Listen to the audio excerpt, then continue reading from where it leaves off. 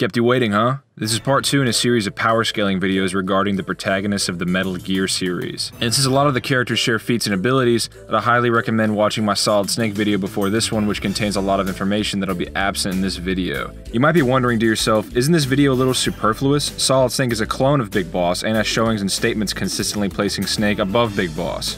While that is true, Big Boss and Solid Snake lived very different lives, operating under different moralities, and were defined by totally different circumstances. The characters I'll be branching in with Big Boss are Venom Snake, Big Boss's top soldier in his private military MSF, who was brainwashed to share Big Boss's experience and skills, as well as Solidus Snake, the quote unquote perfect clone of Big Boss, who was one of the more enigmatic characters in the series.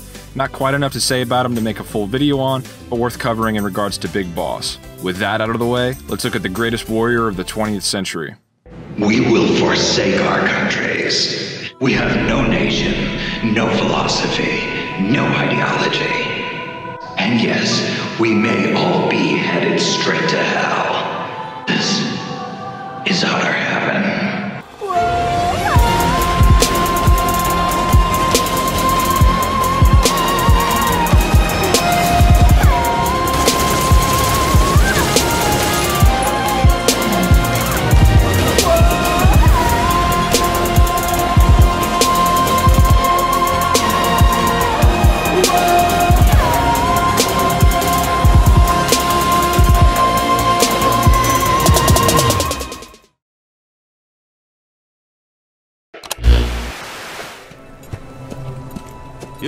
Legend in the eyes of those who live on the battlefield. That's why you have to handle this mission yourself. Put those nine years behind you, and return as Big Boss.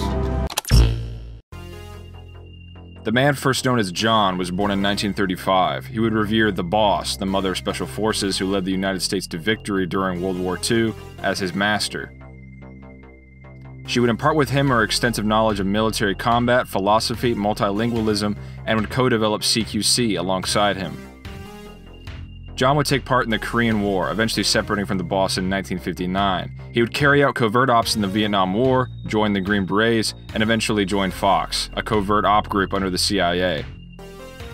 His accomplishments under these organizations would lead to him earning the Army Achievement Ribbon, the Good Conduct Ribbon, Defense Distinguished Service Ribbon, Korean Service Ribbon, the Vietnam Service Ribbon, and the Distinguished Service Cross Ribbon, as well as earning the title of Big Boss during Operation Snake Eater.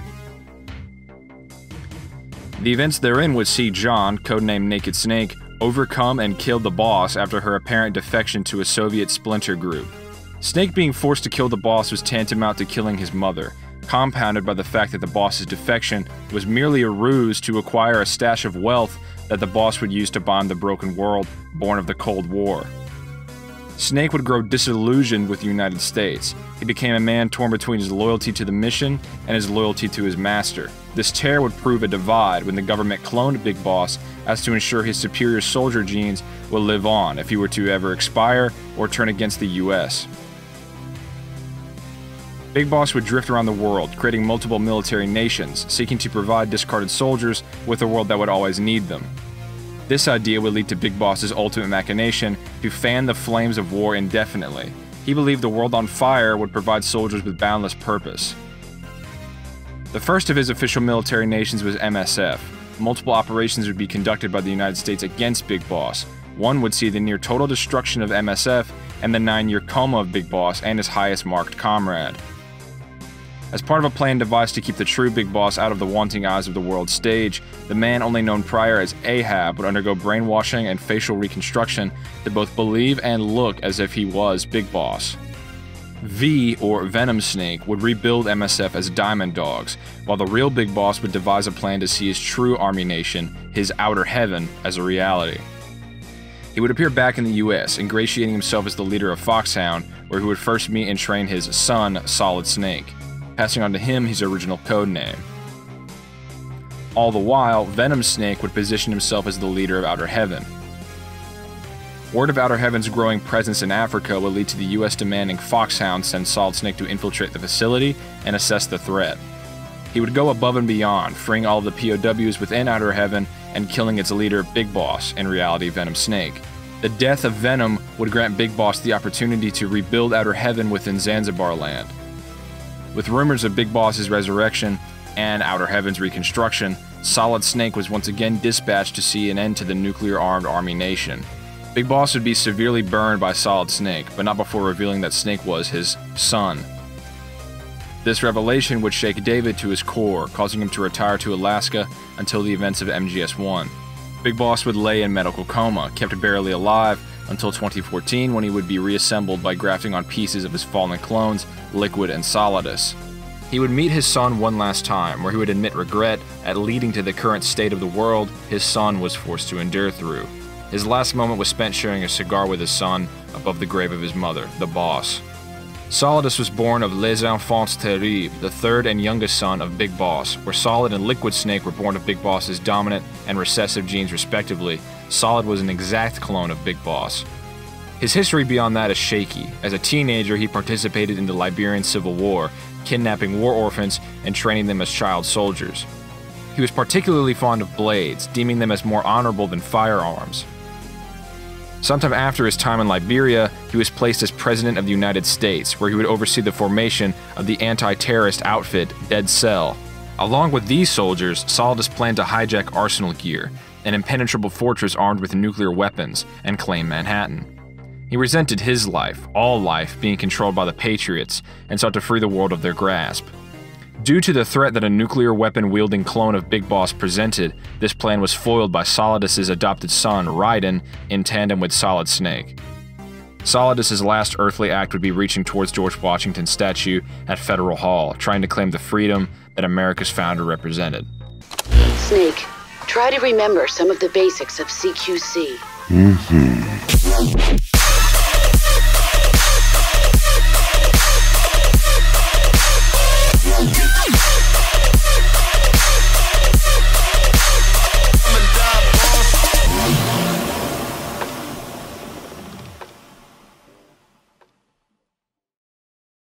Big Boss, like Solid Snake, served in the Green Berets, speaks multiple languages such as Russian, Spanish, French, and Cat. He committed the world's first Halo jump and showcased skill in free climbing as well as acrobatics.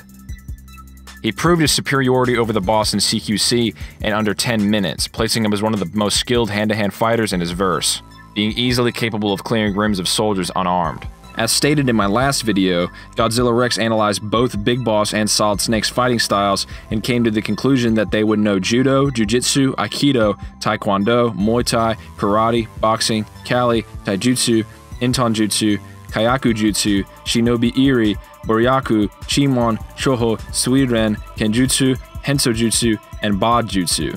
Seeing as Big Boss and Solid Snake received their training eras apart, I can't say for certain if he would learn the exact same principles from the Army and the CIA. He has showcased the use of improvised weapons, using medical alcohol in tandem with a lighter to burn an opponent mid combat. He showcased proficiency with blades through Venom Snake's machete counters against the Skull unit. While the only known form of training undergone by Solidus was his experience as a CIA paramilitary and his hand in the Navy SEALs anti terrorist group Dead Cell, he was the snake to showcase the highest affinity for blades, using them as a means to battle Raiden atop Federal Hall. He trained Raiden in the use of bladed weapons, forcing his affinity onto the young Jack. Big Boss is a master at environmental warfare, using the surroundings to his advantage wherever he can. He shared his son's encyclopedic knowledge of weaponry, even making on the spot modifications to a handgun as to be more efficient towards CQC, and numerous weapon mods in The Phantom Pain. He employed disguises multiple times as a means to infiltrate enemy facilities. His experience at co managing numerous military nations would enforce his status as a tactical genius, overseeing a number of military operations throughout his life. Through these skills, he was able to defeat the Cobras, the unit of empowered individuals brought together by the boss during World War II he was able to best Quiet, a female assassin trained by XOF, Fox's cleanup crew, both in her base form as well as after her parasite enhancements. He's of course taken on multiple Metal Gears, bipedal walking battle tanks, the Shagohod, a precursor to Metal Gear, a prototype of Metal Gear RAXA, Cocoon, Chrysalis, Pupa, Peace Walker, Metal Gear Zeke, and Metal Gear Sahelanthropus, as well as Solidus taking on Metal Gear Ray. He defeated Null, a young Frank Jaeger who could predict his opponent's moves as well as the slightest of muscle movements as well as Gene, a soldier who possessed precognition through ESP. Through his honed senses, Big Boss can mark and detect enemies through solid objects. He can also detect spirits with the naked eye, being able to sense the end as well as see the boss's spirit leaving her body.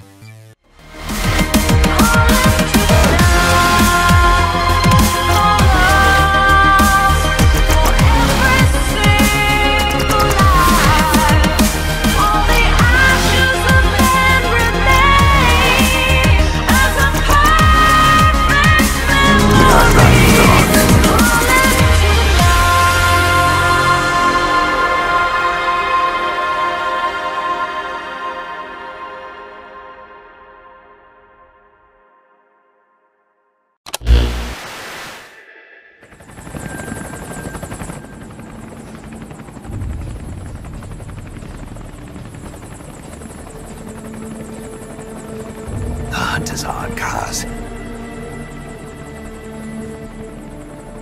And the whole world's on our tail. Big Boss can casually toss grown soldiers around, slap men unconscious, and he beat down Volgin so hard he coughed up blood. The same Volgin who had prior beaten Snake to a pulp. And as stated in my last video, Big Boss is able to prevent the around 500 ton Metal Gear Zeke and the 323,551.446 metric ton Cocoon from crushing him. That's 30 times MCU Hulk's best feat of stopping the Leviathan. There isn't much to add to Big Boss's speed that I didn't state in the Solid Snake video. Him and Solid Snake have showcased travel speeds ranging from 35 to 66 kilometers an hour, and the verse has consistently shown massively hypersonic reactions based on the dodging of railguns.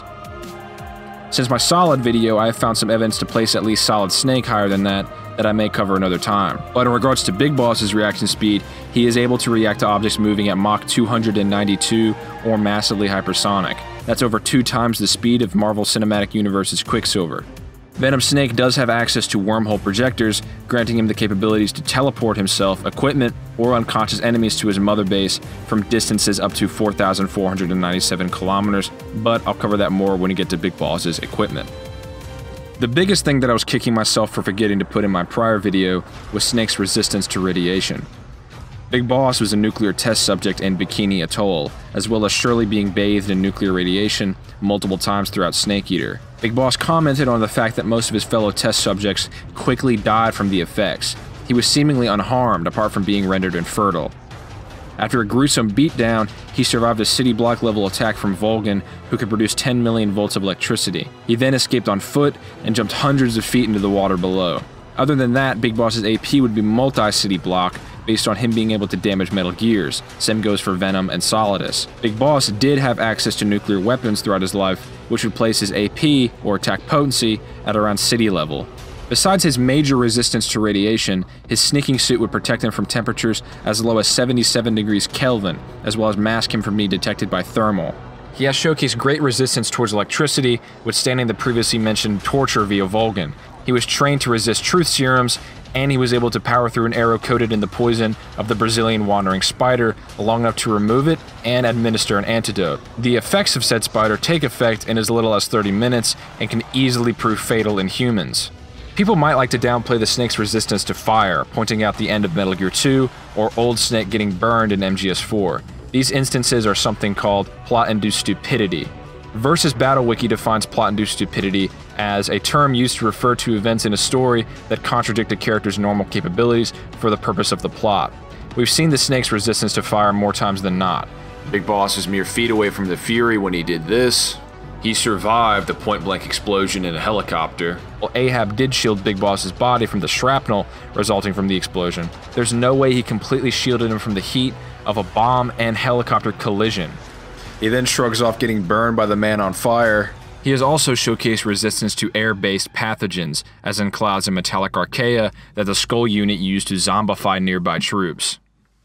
I give my life.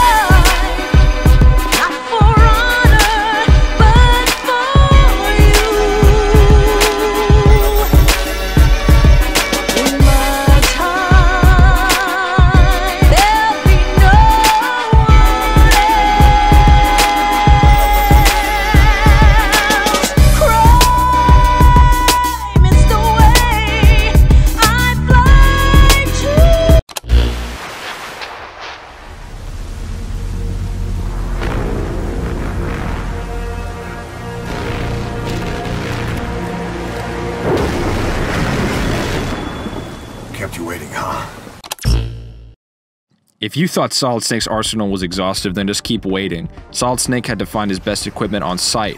He was lucky to have Otacon to develop his more cutting edge tech, but the biggest distinction between Snake and Big Boss was funding. Being the head of multiple expansive military nations would put you at the top of military technology, not even to mention Big Boss's R&D team featured Otacon's father, Huey Emmerich. Of course, he has access to various handguns, rifles, SMGs, machine guns, RPGs, most of all having a stun or trank model.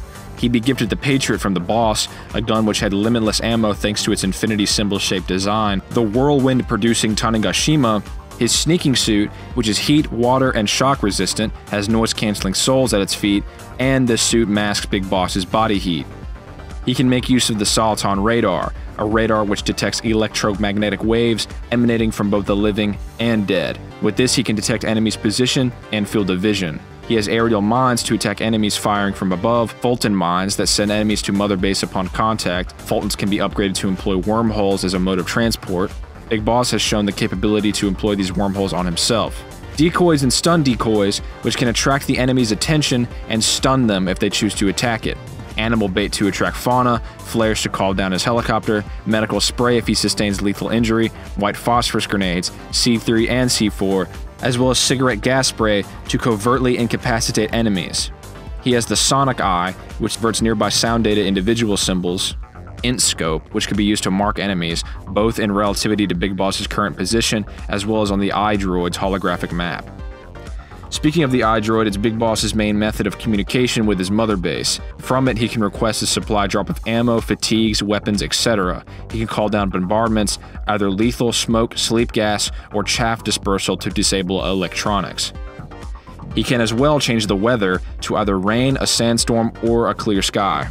Venom Snake made use of advanced prosthetics to imbue his bionic arm with special abilities, such as the Stun Arm, which when fully upgraded can call down electricity to stun an entire outpost of soldiers, the Rocket Arm, a remote-controlled arm that could be fired at enemies, the Blast Arm, a lethal explosive variation of the Rocket Arm, and the Hand of Jehuty, a hand that fires a wisp, capturing and pulling a target into Big Boss's CQC hold with a maximum range of 30 meters.